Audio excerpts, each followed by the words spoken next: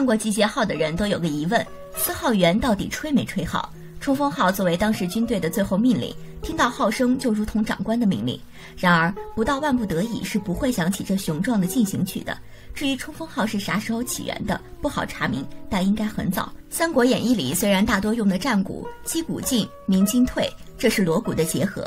诸葛亮平定南方时遇到的蛮兵就不是用鼓和锣，孟获的兵用的是长长的号角，前面是类似大牛角，后面套一节竹竿，吹出来的声音沉闷。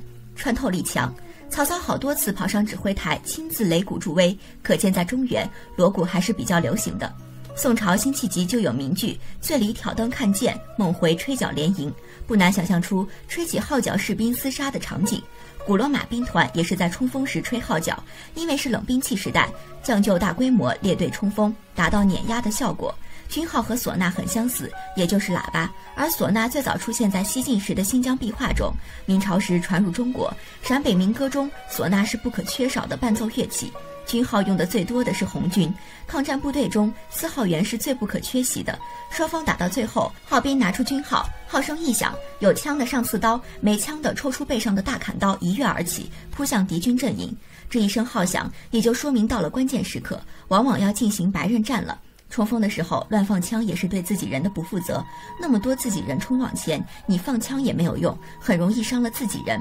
在冲锋时也根本没条件瞄准敌人。那个时候冲锋枪和突击步枪装备也不多，不容易边跑边扫射。冲锋号也就代表要进行最原始的战术——拼刀。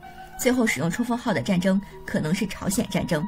上甘岭里经常出现吹号举旗冲锋的场面。战争也是门技术，只有不断投入新式武器和战术，才能超越，取得优势。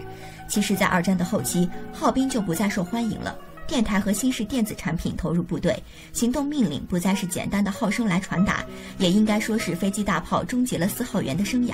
现代战争的火器大量装备部队，飞机战车已经不是步兵能够抵挡的，人海战术慢慢失去作用，一窝蜂的冲锋只会白白损失士兵，而巷战需要更好的隐蔽性。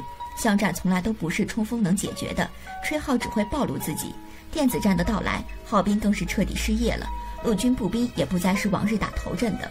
侦察机和无人机的列装，部队需要的是反侦察和隐蔽伪装。